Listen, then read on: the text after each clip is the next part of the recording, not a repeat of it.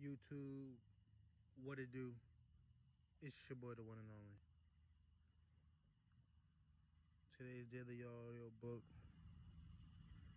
Today's daily audio book is titled Don't Argue with Women.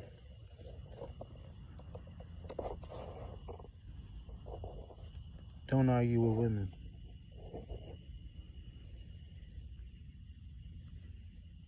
You want to lose your respect as a strong, masculine man. Argue and get emotional with a woman. She'll start to look at you differently. When you leave your logical mind frame, when you leave your alpha mind frame, when you leave that mind frame and you go into the mind frame of arguing with a woman, getting emotional and going back and forth, getting louder and louder now you're playing her game. You're stepping out of your throne and you're stepping onto her her chair, her stool, whatever you want to call it. Her throne. If so be it.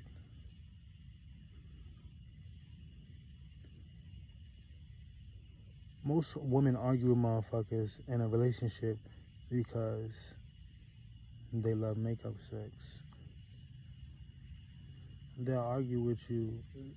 Ma- mainly melanated women. They do this. Women of color. White women do it mostly out of disrespect to Chad and Todd, to Chad and Brad and all them, and to Paul. She mostly does that out of disrespect to them when she's like cursing, arguing, and trying to get them to argue with her. Arguing emotionally yelling between two people or more. That's the key word. You need two people to argue. So, as an alpha man, you have to realize don't argue with the women. Don't argue with women at all. If she don't see how you see it, and she don't want to see how you see it, then it just can't be it. You know what I'm saying? You got to realize it's your way or no way. As the man, you are running the show in the relation, in the duo, in the dance. In the dance, you are leading.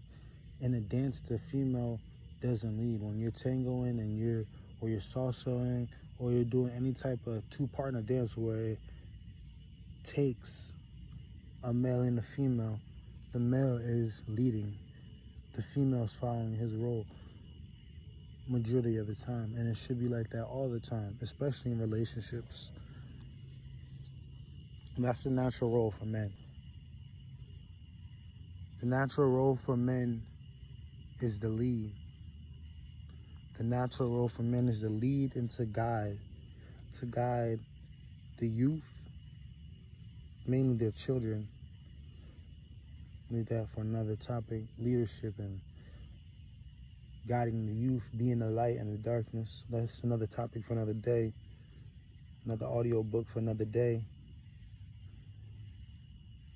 But listen, arguing with a woman, not only will she lose respect for you as a man, because like I said before, as a man, you're supposed to be leading the situation. When she starts to argue with you, she starts to yell, you don't yell back. You just let her yell, yell, yell, yell, yell, yell, and you just stare at her.